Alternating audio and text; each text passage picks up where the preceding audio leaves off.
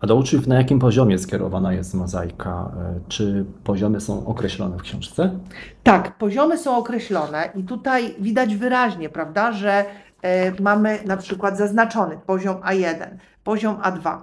Właściwie jest od samego początku, kiedy uczeń obejrzy te filmy, nawet nie znając polskiego. Jest poziom A1, gdzie potrzebny jest tak naprawdę mianownik, gdzie starałam się używać dużo internacjonalizmów, żeby te ćwiczenie było jednak proste i takie motywujące. Ale też te poziomy są dosyć płynne, bo to zależy od ucznia. Niektórych uczniów i miałam takie przykłady, tak motywowały te ćwiczenia, że chcieli robić dalej, mimo że poziom był za trudny.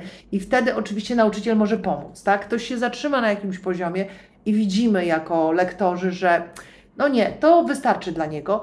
A czasami jest tak, że może przeskoczyć poziom, bo po prostu temat go ciekawi. Mnie też zależało bardzo na tym, żeby to były filmy ciekawe.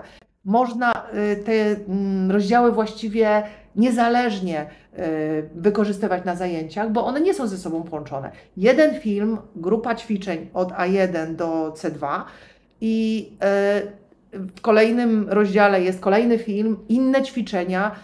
W zasadzie można tę książkę przez cały rok na przykład wykorzystywać.